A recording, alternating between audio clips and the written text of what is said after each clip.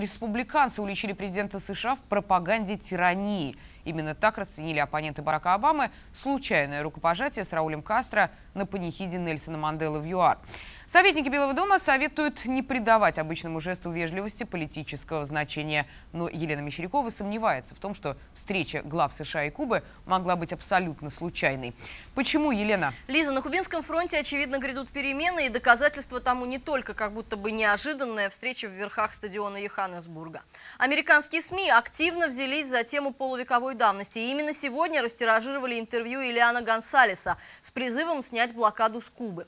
Американцы сопереживают этому сыну погибшей кубинской беглянки, можно сказать, с его младенчества. У большинства 13 лет назад сложилось впечатление, что в детстве мальчика насильно увезли из Америки на Кубу. Но сначала немного истории для тех, кто забыл. Элиан Гонсалес уже не мальчик. Самому известному кубинцу после Фиделя Кастро и Эрнеста Че Гевары исполнилось 20 лет. Весь мир помнит его ребенком в коротких штанишках и с аккуратной стрижкой. В апреле 2000-го за ним пришли дяди с оружием и в бронежилетах.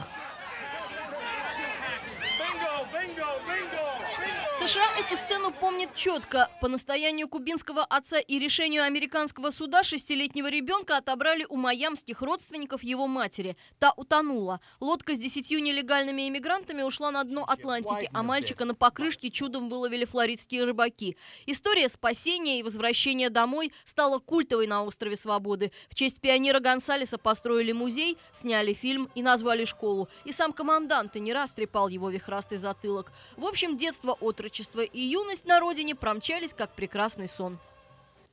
Все эти годы это было счастливое и радостное время, и пусть никто в этом не сомневается. В этом и состояла битва идей на границе тысячелетий. Тогда две страны решали, какое будущее лучше для бедного сироты. Остров свободы от капитализма или страна свободы предпринимательства. Возмужавшее дитя кубинского народа, конечно, за коммунизм с человеческим лицом. И теперь просит президента Обаму поступить по-человечески. Как лауреат Нобелевской премии мира и президент США, он имеет все возможности для того, чтобы снять блокаду, от которой страдает мой народ. Например, всем известно, что на Кубе хорошая система здравоохранения, но медицинское оборудование устаревает. Из-за эмбарго мы не можем получить новое. Американский президент должен почувствовать нашу боль.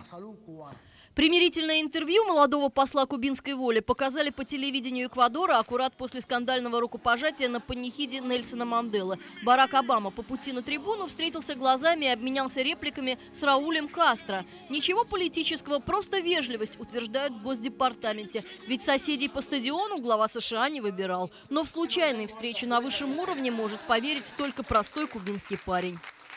Я готов сесть и поговорить с Обамой просто так, на равных и по-мужски. США не разговаривает с Кубой уже 51 год в наказание за национализацию американской собственности и дислокацию советских ракет, ну и, конечно, за нарушение прав человека. И перемены на кубинском дипломатическом фронте можно считать внезапными, но случайными вряд ли.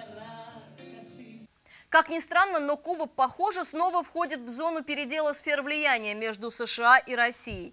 Только вчера Москва и Гавана подписали соглашение о списании советского долга. Куба и Россия припирались по этому вопросу все 20 постперестроечных лет. И вот так внезапно Путин простил Кастро почти 30 миллиардов долларов. Америке, наверное, было бы выгодно перетянуть кубинское одеяло на себя, пока не поздно, на закате эры Фиделя. А то случится, как с Украиной. Кремль чуть-чуть не обошел Белый дом. Дипломаты Госдепа включились в игру уже на третьей неделе Евромайдана. А Куба, которую, вероятно, тоже ждут волнения после ухода коммунистического лидера, должна будет определиться с курсом, а это дорогого стоит. Так что общественное мнение США наверняка сейчас уже готовит к возможным послаблениям в режиме эмбарго и, может быть, в иммиграционных вопросах.